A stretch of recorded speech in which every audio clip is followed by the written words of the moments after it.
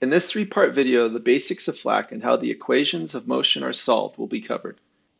In addition, the scripting language available in FLAC, called Fish, will be introduced.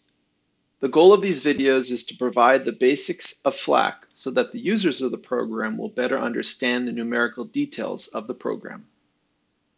In this last video, part 3, the scripting language Fish will be presented.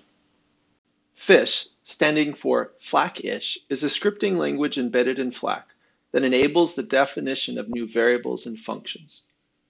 Functions may be used to extend FLAC's usefulness and add additional user-defined features. Fish does less error checking than most compilers, so all functions should be tested on simple datasets before they are used for real applications. Fish scripts are embedded in normal FLAC data files. Fish programming can significantly expand the modeling possibilities in FLAC. However, if done incorrectly, significant errors can be produced in the solution. As such, great caution and care should be used. In FLAC, ensure that record is clicked. Next click follow. The fish script can then be typed directly here. As an example, consider the simple script provided. A fish script or function is processed between the words def, short for define, and end. To execute the script, click Rebuild. Note that in this presentation, the blue text represents FLAC commands, the green text represents intrinsic or defined fish variables, and the black text represents everything else.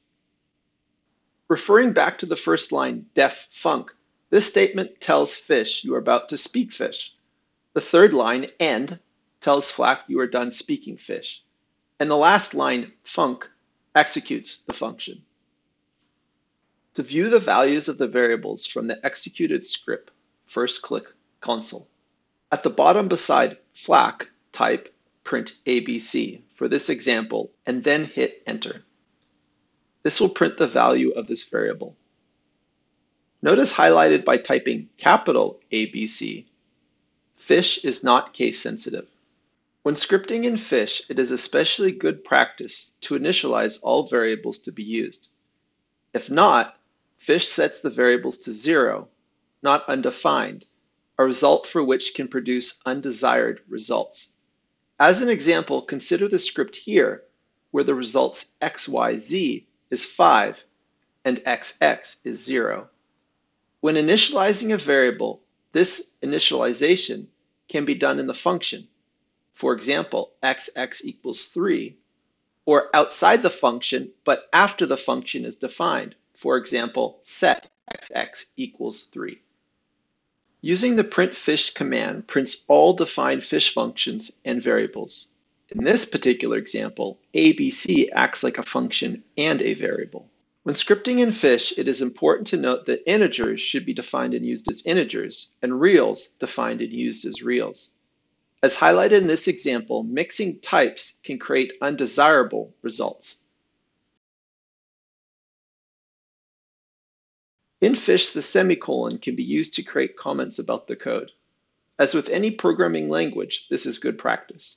In addition, to avoid overriding intrinsic FLAC or Fish variables, it is recommended to use an additional symbol before the variable, such as an underscore. This completes a brief introduction into scripting with Fish. Fish is a powerful tool which the user is recommended to utilize. For further details on Fish scripting, please refer to the Itasca user manual. This third video completes the introduction of numerical modeling with FLAC. The goal of these videos was to provide the basics of FLAC so that users of the program will be able to better understand the numerical details of this program.